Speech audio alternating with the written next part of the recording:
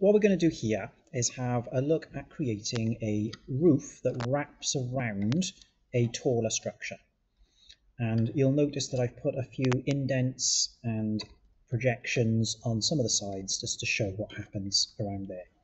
So I'm going to swap to a plan view and we're going to use the roof by footprint okay and select the level of the roof which is going to be level 1 and then pick your type of roof construction and you may well want to create your own one.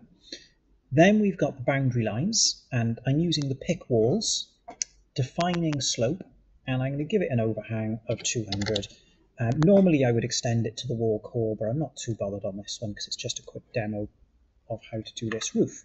Now you'll notice as I'm clicking here, I'm making sure that I keep the cursor on the outside so that does that on the outside. Now, the next thing I'm going to do is get rid of the defining slope and get rid of the overhang and make it zero.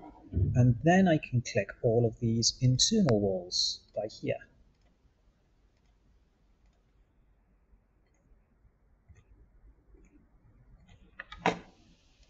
Now, if I zoom in by here, you'll see the pink line goes across there. Now, that is a problem. It will not work.